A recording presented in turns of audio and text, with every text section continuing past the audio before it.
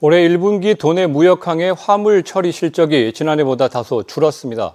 해양수산부에 따르면 동해 묵호항과 호산항, 삼척항 등 도내 5개 무역항의 1분기 항만 물동량은 1,214만 8,900여 톤으로 지난해 같은 기간 1,318만 8,200여 톤보다 7.89% 줄었습니다.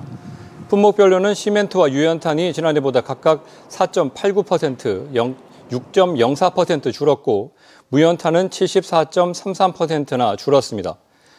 해양수산부는 코로나19 상황에 따른 세계 주요 항만의 연쇄적인 적체와 중국 주요 도시 봉쇄의 장기화 등으로 수출입 물류의 일부 차질이 빚어지는 것으로 분석했습니다.